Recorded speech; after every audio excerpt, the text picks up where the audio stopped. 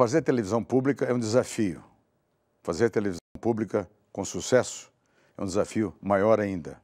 Agora, fazer televisão pública com sucesso por 45 anos é um recorde que a TV Cultura tem e que pode ostentar em relação a todas as televisões públicas de todo o mundo.